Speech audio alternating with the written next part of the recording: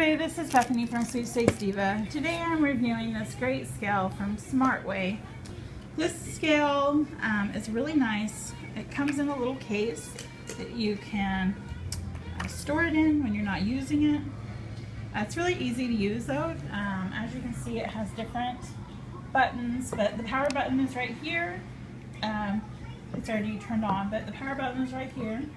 And then once you have it turned on, you can do several different things with this one. You can um, weigh a product, as you can see, um, but they have different uh, measurements. So you got CT, DW, T, OZT, grams, ounces, GN. Um, you can also change it over to this uh, PCS uh, and weight there too. They have a hold button so you can hold that um, and weigh another product. Um, so there's a lot of function uh, functionality out of this scale. Uh, it works really, really well.